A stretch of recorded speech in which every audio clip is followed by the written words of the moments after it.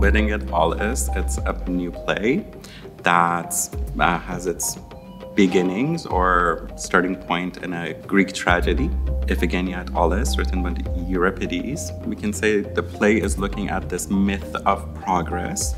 It's doing that by looking at the ritual of marriage, and not marriage in the modern sense of it, or like the social sense of it, but the ritual sense of it, that two becoming one.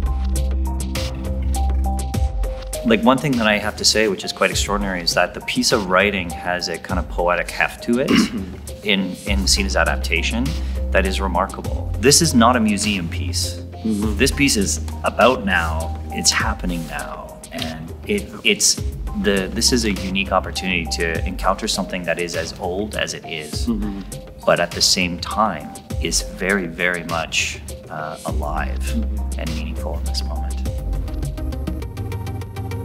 So this new way of um, looking at things or experimentation, it's definitely alive, I feel.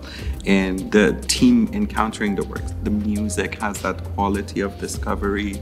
Where do these inspirations come from in relation to this theatrical space that like I'm offering? And everyone has been so generous and so deep in exploration. Music, the same way the design, the acting, the work has been remarkable.